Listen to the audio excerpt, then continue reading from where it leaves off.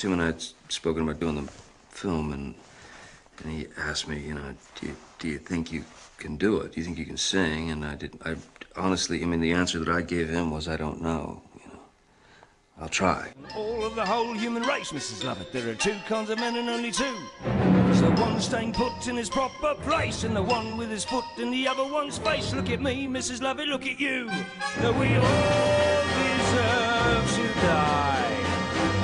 even you, Mrs. Lovett, even I. Because the lives of the wicked should be made brief for the rest of us. Death will be a relief. We all deserve to die.